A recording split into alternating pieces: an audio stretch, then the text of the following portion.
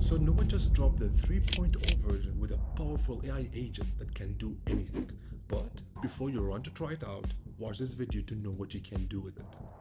So with the Nowa Desktop version, I will create a local project so I can keep all the files on my device. I'm gonna call it my amazing app because it will be amazing. Okay, so now I will pick the location where I will store the local project. And here I can see my project opened. On the left side, I can now open the chat for the AI agent. So let's see what we can do here. So I will write a prompt to create a music streaming app with a playlist grid, featured artist, and current playing bar. Alright, it says it will help me to create a beautiful music streaming app, and I can see here the thinking process of the agent. Awesome, I can see parts of the app now coming together. Now I can see here also what the AI created or tweaked inside the project. Now I run the app instantly without waiting for builds and look how beautiful it is. But let's see how it will look like on other devices like an iPad or maybe an Android device. What about a desktop version? So let's try to play it as a Mac OS app for example or Windows, we can do that. But now let's go back to the original. Alright, so now the time for the second screen. I will prompt it to create the other screen where I can see my music playing and I want the same style to be there. I can see now it's already fetching the style from the existing project and now it created a new screen called now playing screen. But it's not done yet, so I'm still waiting. Now it's done and I can see a description of what it did. And if I go to the files inside pages folder, I can see my new page. Now I can drop it also directly on the board. Okay, I will put the two screens now next to each other, but I can see there's an 18 problem in my project. So do I need to freak out? No! God, please, no! No! The simple answer is no. You can simply go back to the agent and ask it to fix all the errors in the project. As you can see here, it started to list all the problems by itself. Oh, the number dropped to only 4 problems. Okay, now we don't have any problem anymore. Nice.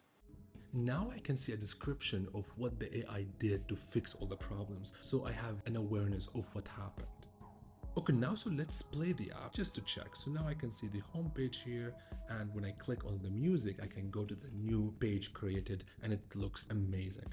So now I want to focus on a single screen, so I can open it in its own view. And by the way, I can use the AI agent to change a specific widget, not just a screen. So here I selected the text widget and ask it to add an icon next to it. Now it will add an icon that matches the theme and the context of the widget. This is amazing. Hmm, so now let's see how can I even make this UI better. So let's say if we select the container here and maybe we want to make it more glowing. So we can ask the agent to do that. Wow, this is amazing. The users will love that effect. Let's now play the app to see how it looks like. I can see there's a small cutting in the top and the bottom. So we can actually fix this visually. So all we need is a simple padding. So let's wrap the column with padding and add a vertical one. Let's now play the app perfect, but we have to make it slightly more. So let's go back to the padding in the column and make it even more. Alright, now let's play again the screen and see. Okay, perfect. Now there is no problem with it at all. By the way, we can also see the source code of the whole screen if we click on the code chip. And we can even modify the code and we can see the effect of the change right away. So now let's go for example and change this text from good morning to for example, hey there. If we click on compile, we can see it instantly updated. This means that beside AI and visual editing, you can use code to change anything. Now let's open VS Code. And remember, we created a local project, so we can open it in VS Code as a normal Flutter project. And the nice thing about it is that any change we do in VS Code or in Nowa will sync instantly with the other. So here, if we change the text widget here, it will change instantly inside Nowa. It's the same thing if we, for example, change the color, we can see the change instantly, or even the font size. So what else I can do? Well, you can modify anything in the generated code. And beside changing simple values, you can even change the widget tree. So for example, if we wrap this text widget with a container and give this container a color, we can even see the results instantly inside Nowa. And the nice thing is that you can even continue modifying on it directly inside Nowa. This is what's called the hybrid approach. Now, I want to make my app slightly more alive, so I want to add animations to the play button. So I selected the button and I asked the agent to create some animations. So let's see what it will do. Alright, now I can see a description of the animation it created. But for me, I want to see this with my own eyes. So let's play the app and go for the second screen.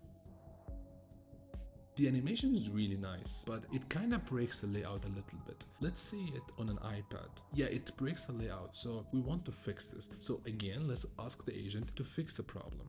Here I will describe the problem in detail and give it enough context. This is always good for the agent so it gives us the best results. Okay, now I can see it is modifying the build method inside now playing screen. This means that the problem is located there. Okay, now it's done, it gives me a description that it fixed the animation issue. But let's see this in action. So let's actually switch back the device to the iPhone and go for the second screen and test.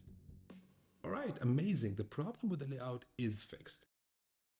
But notice one thing, if we went back to the iPad, we can see the layout is perfect. But if we go to the iPhone, we can see that the last row is not visible, where it has lyrics and some important buttons. So let's say try to test the agent again and see if it can fix this issue. And here I give it all the context it needs to understand the problem. Now notice that the last row is not inside the screen frame on the board. Now I can see it is modifying the screen. Now it's done and I can even see on the board that the row now is inside the screen frame, which is a good sign. I got you, homie. So now let's be sure that it is actually working by playing the app. Perfect. Now we can see the four buttons inside the screen and I can even click on the lyrics and I can see a beautiful pop-up that shows the lyrics. I am loving this app at this point. Now I will commit the changes on my local repo. Since it's a local Flutter project, I could easily create a local repository and push it to GitHub. Something else I can do is run my app on an actual simulator. So in this menu, I can see all the simulators running on my device and I selected already the iPhone 16 Plus. So now I will run my app on the simulator. I can see now it's building the app.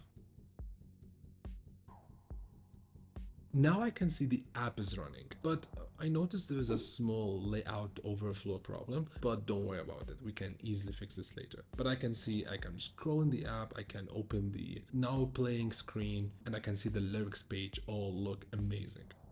So let's now fix the problem of the layout overflow. So the cause of the issue is that last time we added too much padding, so we just need to adjust it. Now when we save the project, we can see the update instantly appear in the simulator and the problem of the layout went away. Now this is called the hot reload. So let's see here, for example, if we want to change the color of the text and we save it, we instantly see the results in the simulator. This is amazing because the speed of the update is exactly as the native Flutter hot reload without any delay. One last touch I want to on the UI is to make this icon more glowing. So I will use the agent to do that.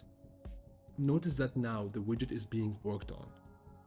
Wow, the icon is now beautifully glowing and if I save the project I can see the simulator instantly updates. So what if you want the UI to be like a screenshot that you have? So I went to Pinterest and I found this nice looking music streaming app and I saved the image. I will use the agent to make my homepage looks like this screenshot. So let's see the output it will produce. So I attached the screenshot and I told the agent to make my music player app matches the design of that screenshot. Wow, look at that. The whole design was changed to look like the screenshot. Amazing. And as always, I can see a description of what the agent did. So now let's just play the app. And the app looks amazing in the play mode. But I noticed that not everything is functional. So we have to fix this. So let's ask the agent to make the screen interactive and functional. So now I can see the screen is getting modified and on the left side I can see a lot of things are getting modified. Now it's done and I can see a description of what it did. It said it added a search functionality, a favorite system, music playback, profile integration and more. So let's play the app and see those things in action. So I can see there's a search functionality and when I click on the music, I can see some options like play or like. When I play, I can see the music playing and when I click on it, I can see the now playing screen. So if I click on like to like a song and if I go back again to the uh, favorite menu, well, I can see here a placeholder. I cannot see the actual song that I liked. So this is a problem and we can ask the agent to fix it and to make the system actually works. Okay, it says that it can see the issue that it is using placeholder values, not the actual values. And I can see that it is modifying a lot of things at the same time. Now I can also see the thinking process between each step. It is done and it gave me description of what it did to make it functional. So let's play the app. So now if we click on the favorite, we can see that there is no music added yet. Alright, so let's now like a song and see if it will be added. Perfect, we can see the song being added. Let's add another one. Perfect, we can also see the other one. So now the system is working perfectly. Did you know that the free plan now includes unlimited code download, AI access, and desktop version? So go to Nowa.dev and give it a try and start building something big today.